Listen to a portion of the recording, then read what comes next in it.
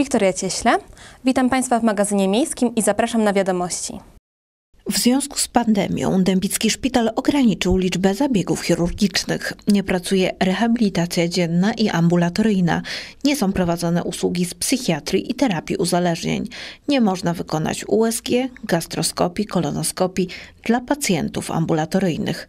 O tym, czy planowane zabiegi chirurgiczne będą wykonywane, decyduje lekarz.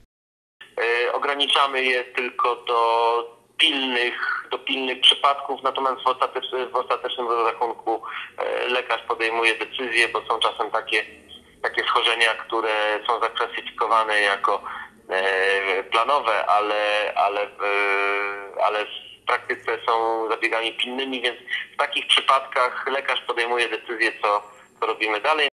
Ograniczona jest też praca laboratorium nie pobieramy krwi na życzenie, to znaczy nawet odpłatnych y, badań, ze względu na to, że musimy ograniczyć się do ze względów epidemicznych y, do pacjentów szpitalnych i ewentualnie pacjentów ze skierowaniami CITO wyłącznie. Dyrektor Przemysław Wojtys dodaje, że szpital nie jest zamknięty dla swojej działalności. W salach leżą pacjenci i jest im udzielana niezbędna pomoc medyczna. Thank you. Już nie tylko Zakład Ubezpieczeń Społecznych, ale także województwo podkarpackie deklaruje pomoc finansową przedsiębiorcom, którzy poniosą straty materialne związane między innymi z zastojem gospodarczym czy absencją pracowników podczas stanu zagrożenia epidemiologicznego w naszym kraju.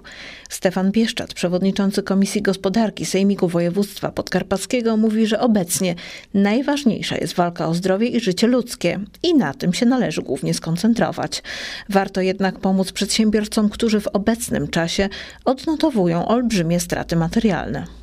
Jeśli chodzi o gospodarkę, to Oczywistą rzeczą jest, że zajmują się to tymi rozwiązaniami czynniki państwowe. Stanowienie prawa, które umożliwi e, generalnie pomoc wszystkim tym, którzy e, funkcjonują w gospodarce, pracodawcy i pracownicy. Główne decyzje odnośnie pomocy przedsiębiorcom czy odliczenie składek ZUS zapadają na szczeblu centralnym, jednak województwo też będzie starało się pomóc. Jeśli chodzi o poziom województwa i samorządów, myślę, że będziemy w nowej rzeczywistości, która będzie zmuszała wszystkich do zrewidowania e, planów i myślę, że wszelkiego rodzaju nacechowanie pomocą drugiemu to będzie również związane z gospodarką. Jeśli chodzi o gospodarkę, jest to, nie ukrywam, moja domena. Wszystko zrobię, żeby w ramach obowiązującego prawa i możliwości uruchomić jak największe środki do pomocy wszystkim tym, którzy będą tego oczekiwać, a myślę, że to będzie wszechobecna sprawa.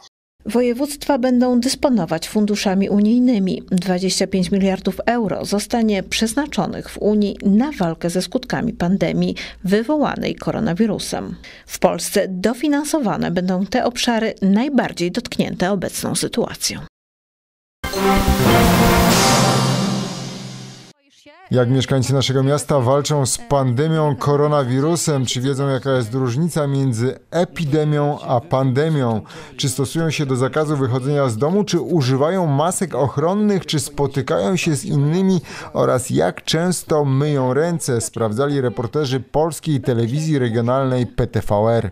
Co ja zamknę się w czterech ścianach funkcjonuje normalnie i zamierzam funkcjonować normalnie. A jak to wyjdzie, zobaczymy. Modlę się i mówię, wola Twoja Panie, nie uciekniemy przed niczym, a strzeżonego Pan Bóg szczerze. Czuję panikę w społeczeństwie, natomiast nie obawiam się koronawirusa. Uważam, że właśnie ludzie nadmiernie panikują, a w obecnej sytuacji należy zachować spokój, ograniczyć wyjścia, pozostać w domu i to jest najlepsze rozwiązanie w tej sytuacji. Większość mieszkańców poważnie traktuje obecną sytuację. Dębiczanie pozostają w domach i stosują się do wszystkich zaleceń higienicznych, między innymi do tych, które dotyczą mycia rąk.